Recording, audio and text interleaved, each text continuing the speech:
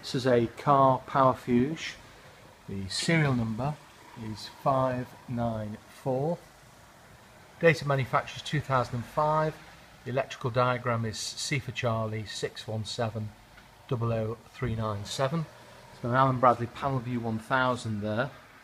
Just going down, just go around the device itself now. You can see there's another plate here. Serial number is 594, model number is a P6. This is a Carr Powerfuge separation system P6 2005 made by Carr Centritech, Clearwater, Florida, USA. All in stainless steel, condition is good as you can see. This is a typical Biotech piece of equipment here. Just going round the device here so that you can see, hopefully you can see the, the condition of it as we're talking. Just come back here, you can see it's on a stainless steel skate. Um, so it's easily movable. Okay, there we go. So this is the this is the device here. This is Richmond Scientific.